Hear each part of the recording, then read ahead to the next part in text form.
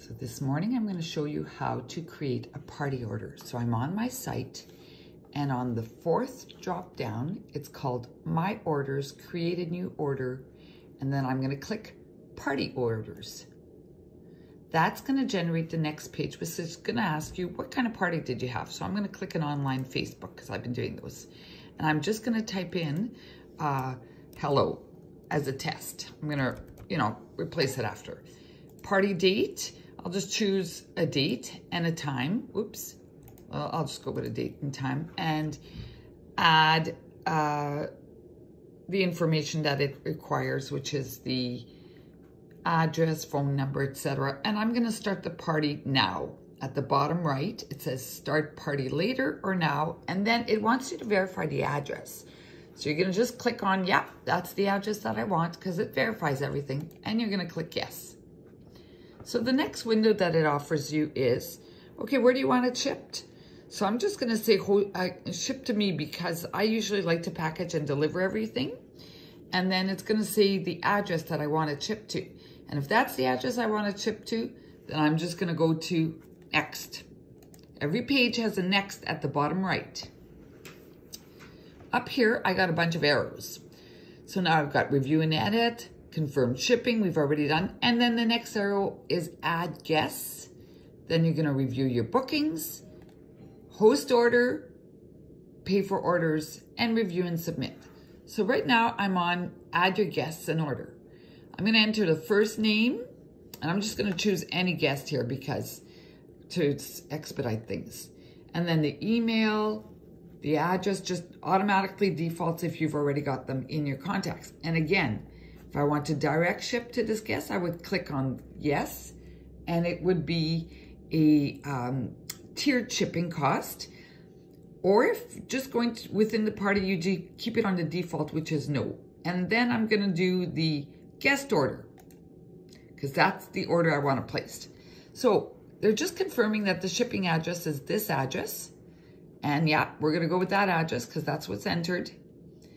And then all of a sudden we have the shopping. So there, we here's where it's just like online shopping. You want to add an item. I'm just going to put bathroom. You don't always need the SKU. And let's see what comes up. So as soon as I hit bathroom, you got the bathroom cleaner, baby's bath brush, bath towel, everything that comes up with a bathroom. So I'm gonna click on it, wait till it shows up, and then I'm gonna add. So you see, now it's added.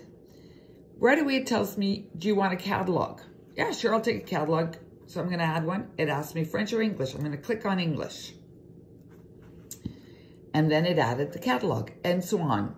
So that way, you have all of your population, your items, and here is your invoice, okay? I'm gonna give you a little tip. You can add another guest, if you have another guest, after you've finished adding all her items, and it's the same process. And then you follow the next arrow that says review booking. So here we're gonna add a new booking because there's always a booking. So we're gonna call this one March because we're gonna have some new products and I'm sure we're gonna have some March orders. Boy, I have a lot of March orders. And then I'm just gonna add a date and a time and modify it that way and then click on that and then I'm gonna save it. So now I have a booking in my party.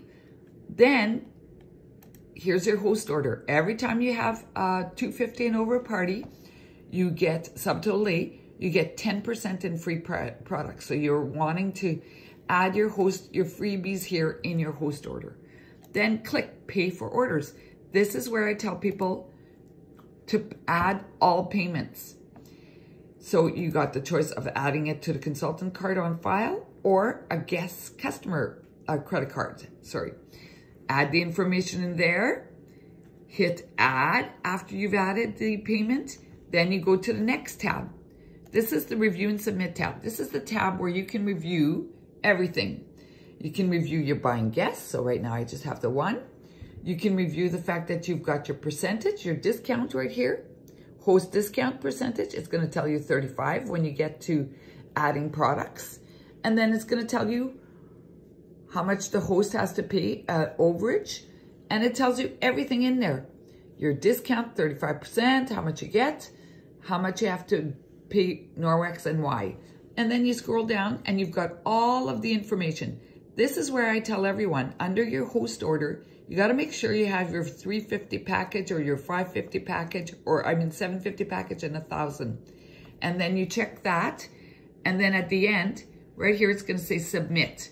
And that's about it when you've entered all your items.